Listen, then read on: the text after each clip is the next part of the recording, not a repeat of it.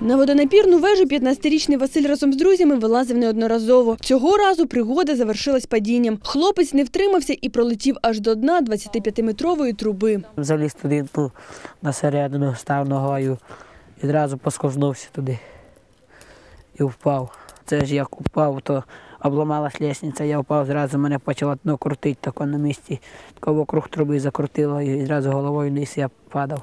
Зразу дихати тоді ну, не пускало, як я впав. Коли трохи оговтався, Василь намагався сам вибратись із труби. На допомогу йому кинулися люди, які почули гуркіт. Вони і викликали рятувальників. Десь на кілометр люди чули, що такий грохот. Перш думали спочатку, що впала ця башня. Ну я швидко приїхала сюди, давай говорити з ним.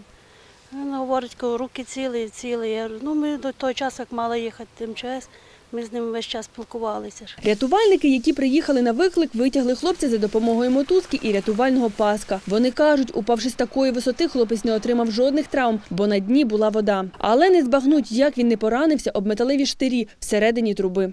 Дивно у цьому випадку є те, що е, практично з, таки, з таких висот люди, як падають, то завжди смертельні наслідки бувають. А людина е, це постраждала, яка впала туди, поцарапалася і залишилася цілою живою, не- неушкодженою. У Василя є ще сім братиків та сестричок. Хлопець обіцяє розповісти їм про усю небезпеку таких ігор і переконує, тепер на вежу ні ногою. Оксана Трокоз, Олександр Мельничук. Місцевий час.